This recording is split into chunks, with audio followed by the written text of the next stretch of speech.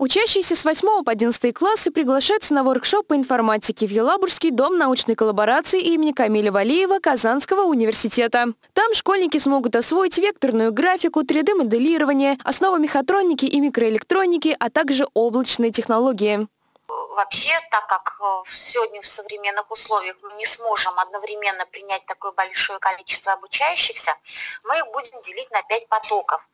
Воркшоп по информатике состоится 17 октября. Для участия необходимо заполнить онлайн-заявку. Перейти по ссылке, а также узнать все подробности можно в разделе новостей на официальном сайте Дома научной коллаборации. Участие будет у нас совершенно бесплатное. В процессе самой регистрации а, мы им предлагаем написать небольшое эссе на такую тему, как «Мое цифровое будущее».